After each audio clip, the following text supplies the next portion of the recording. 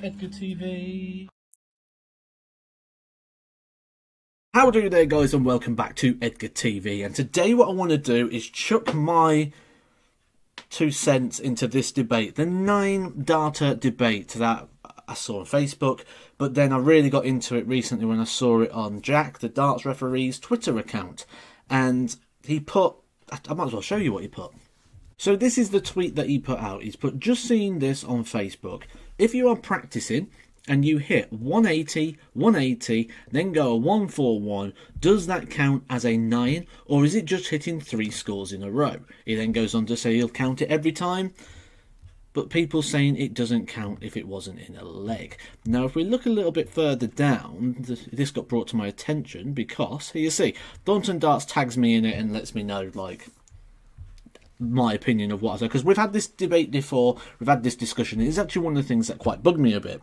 I wrote down um, a couple of comments here that people have said. So, JW here has gone hole in one, don't count if you're on the practice round in that case then. Keep that in mind because we're going to come back to that point very soon. He's saying hole in one doesn't count on a practice round. Dan Hutchinson here has got the point. He understands it. He said, not a nine as you aren't playing a leg of darts. By the way, the fair comparison would be golf, an endless fairway with no holes. You randomly decide which one to create when it suits you. Exactly that. So, if we go back to JW's point here, a hole in one doesn't count on a practice round. The thing is, you would know that you're going for that hole in one because you'll have a start point and a finish point. The finish point will be the hole, the start point will be wherever you're whacking the ball from. I'm not very golf terminology, so wherever we're giving it a good old Happy Gilmore. So, in that respects, yeah, I, if you're playing a leg of 501, and you're you're playing against a bot, you're playing against a friend, you're playing in practice, and you go 180, 180, 141. Yes, I would vouch for the fact that that would count as a nine darter. Just because it's in practice, I don't think it should shouldn't count. But the point I think here that JW's missed, and there's a few others. That, uh, I'm not just picking out JW. There's loads of other things in here as well. The the point with that is the sequence of throws. You could be throwing darts for an hour and then when you hit a 180 and then you hit the next two trebles, you go, oh, I'm on a 9 darter. But there was no start point to that 9 darter, it was just on a sequence of events. You know, that would be great if in life we could just go, like, watching a horse race, and when it's 10 lengths clear, go, oh, I'll back that one, because it's winning. And it's the same sort of thing here. It's just jumping on that sequence. Um, someone mentions a bit further down. Let's have a look, see if we can find him. I've wrote down a couple of names here to look for. There you go, Big Jim. Yeah, Big Jim's put it.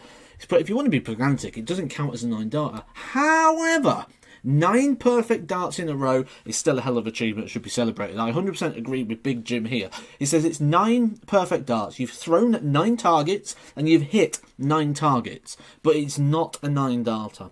So be happy with your nine targets, be happy with those nine hits, but it's not a nine dart leg, I'm afraid. I'm, I'm certainly not passing that one. Um, Personally, I wouldn't go for the 141 finish. I try and see how many 180s I can hit in a row. My record's five. Very, very happy with that. I don't know if I'll ever be able to beat that, to be honest with you. Um, but I just go for it and see how many times I can hit a 180 in a row rather than go for the 141 because let's say it's not a 9 darter is it? it really isn't uh, there's another one here that i've wrote down to take a little look at Sober Darts Guy and Clash of Tungstens also going, nope, not having it, not having it. Oh, Thomas, he'd take it. I think Thomas would take it on, on the basis of, like say, the nine perfect darts, rather than it being a nine dart leg. Jack actually followed it up with this one as well. He says, Yo!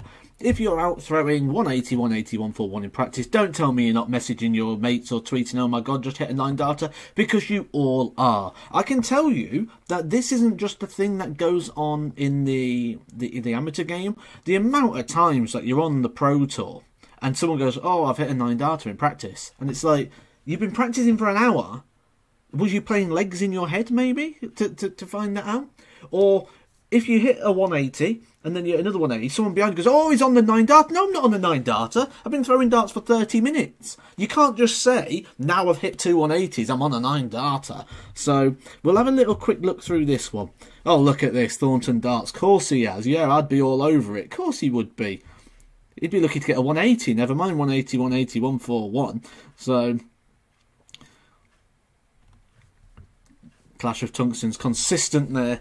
I don't know whether Jack's baiting him in here, but he certainly got the bite there. Defo not, wouldn't be doing it as a 9. So, let's do a quick. Everyone counts it. Lying if they don't. Barry Savage puts his on Facebook.